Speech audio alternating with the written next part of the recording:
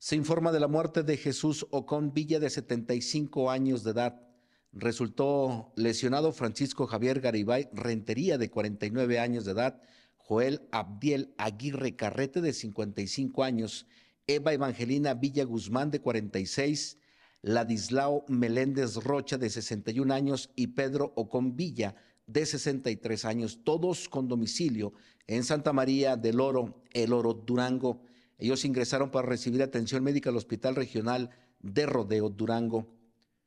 Se recibió un reporte por parte del C4 informando que en el kilómetro 236 de la carretera panamericana Durango-Parral se había registrado un accidente vial de tipo choque en el cual participó una camioneta de la marca Dodge Línea Ram modelo 2012 color negra, conducida por José Jaime N de 31 años de edad, misma que invadió el carril contrario de un vehículo Nissan de la línea Urban modelo 2019 color blanco, conducido por Diego Armando N de 31 años de edad, donde también viajaban los lesionados, siendo detenido José Jaime y puesto a disposición del Ministerio Público por la responsabilidad que le resulte.